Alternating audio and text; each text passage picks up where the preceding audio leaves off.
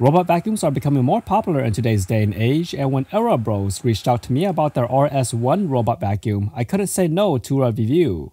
It has standard features like cliff sensors and proximity sensors, as well as dual side brushes, a large dust tank, a remote control, and app control with smart home integration.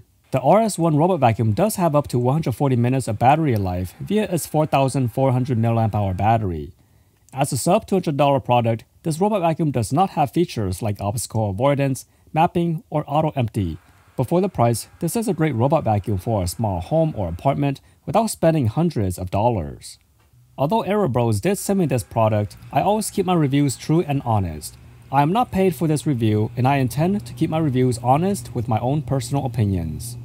Inside the box is the quick start guide, user manual, two AA batteries for the remote control, an extra HEPA filter, a cleaning brush, the power adapter, the charging dock, and the RS1 robot vacuum itself.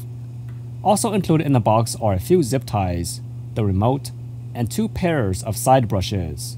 After removing the protective packaging, let's take a closer look. There are three proximity sensors on the bumper. Towards the back, there is the main power button along with the charging port as an alternative way to charge the vacuum. Below the cover, we have access to the dust tank and some instructions on how to pair the RS1 to the Smart Life app. Removing the dust tank is easy, which also gives us access to the internal components of the dust tank. Reinstall it by popping it back in place. Underneath, there are two drive wheels along with the suction port. The suction port does have a squeegee to prevent particles from being left behind. Beside the front wheel are two terminals for charging via the charging dock, three cliff sensors, and the two side brush mounts we can use the RS1 without the app and just use it via the remote control. After turning on the main power, let the device charge for 6 hours before use. Pressing the auto, spiral, or edge cleaning buttons on the remote will start the cleaning process. It is relatively quiet, rated at 55 decibels. The vacuum will clean until the battery power reaches 10%, then it'll find and return to the charging station. I say find and return instead of just return because the robot vacuum does not map the house. This means it has no idea where the charging station is. The robot vacuum uses a basic algorithm where it ping pongs around the floor to clean. It may enter a room multiple times during a cleaning cycle, or it may not enter it at all. It may find the charging station after a cleaning cycle, or it may not. If it does get stuck in a tricky area with lots of obstacles, it will eventually find its way out, making right turns. The RS1 will avoid bumping into walls, but for smaller objects, it will bump into them if the proximity sensors are not facing the objects directly. This can leave scuff marks on furniture and floorboards after months of usage. If there was a rubberized strip across the front bumper, this would have minimized the possibility for scuffing surfaces.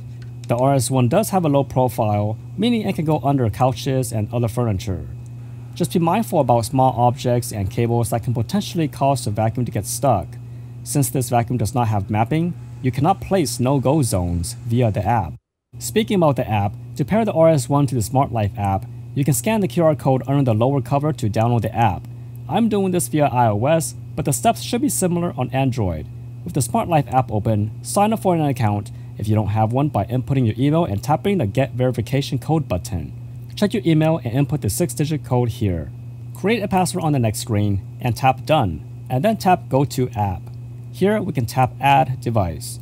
Since this is the first time using this app, there will be many pop-ups along the way. Allow or don't allow each one to your own preference.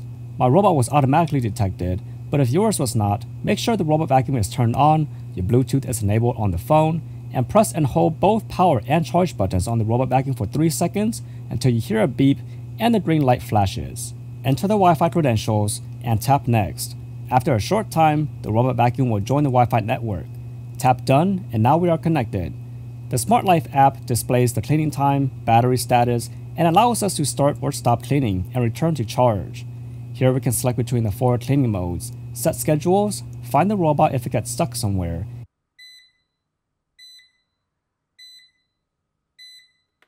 and check when to service the filter and side brushes. In the Smart Life app, we can control the vacuum manually by pressing and holding down the directional buttons. In terms of performance, the RS1 certainly isn't the greatest. Because it uses a suction port instead of a roller, this vacuum will work better on hard surfaces. This eliminates having to remove hair out of a roller, but a roller generally performs better than straight suction. In some instances with larger particles, multiple passes are required. On surfaces with lots of gaps and crevices like this rug, this vacuum will struggle picking up debris. This is because the suction port cannot establish good suction on the surface. Each cleaning cycle was around 120 minutes for me. After 4 complete cleaning cycles, the dust tank was completely full. I was really surprised to see how full that dust tank was after 4 complete cycles. The RS1 is compatible with Google Assistant and Alexa. Let's link to Alexa by tapping the pencil icon and tapping third-party control. Select Alexa and then tap Link to Amazon Alexa. The Alexa app will open and it'll prompt you to link or cancel this request. We'll go ahead and click Link and the Smart Life app will confirm the link has succeeded. Inside the Alexa app, we can see the erabros RS1 has recently connected. Tap on it via the Activity section and give the vacuum a name. Select Update Name and then choose a group to add your vacuum or you could just skip this step. I'll place it in my basement group. I'll tap Add to Group and the app will confirm the add. Alexa can display only the battery status and can only turn on and off the vacuum. There is no control over which modes to use or to return to charge. Alexa, basement vacuum return to charge. Sorry, I don't know that. Alexa, charge basement vacuum. I don't know how to set basement vacuum to that setting.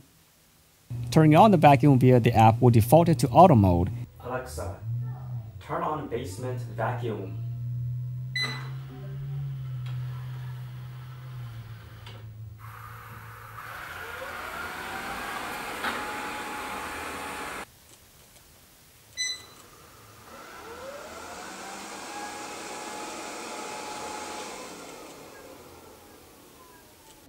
Alexa, basement on.